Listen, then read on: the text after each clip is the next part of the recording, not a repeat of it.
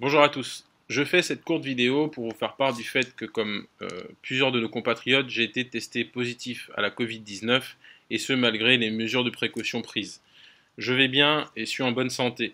Comme dans la majorité des cas de notre pays, je suis asymptomatique. Ce qui veut dire que euh, même si je ne développe pas les symptômes de la maladie, je suis actuellement sous traitement. Le fait d'être régulièrement testé a permis de, de dresser rapidement mon diagnostic et d'être pris en charge dans les meilleurs délais. Bien entendu, depuis, euh, j'ai pris l'ensemble des mesures nécessaires pour protéger non seulement ma famille, mais aussi mon entourage professionnel. Dans l'attente d'une guérison, je continue donc de remplir ma mission pour notre pays en réadaptant euh, mon quotidien et mon travail afin de m'assurer que moi-même je ne devienne pas un vecteur de transmission de la maladie. Si j'ai tenu à vous donner cette information le plus directement possible, c'est pour deux raisons. La première, c'est le souci de transparence qui nous a toujours animés depuis le début de cette pandémie.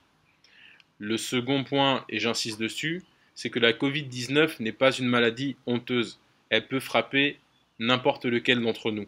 Et j'espère vraiment que mon témoignage euh, encouragera d'autres compatriotes à se faire tester régulièrement.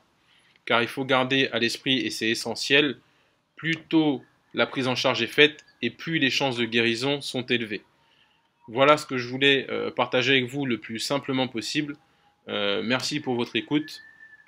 Passez euh, une bonne journée toutes et toutes et surtout prenez soin de vous et prenez soin de vos proches. À très bientôt.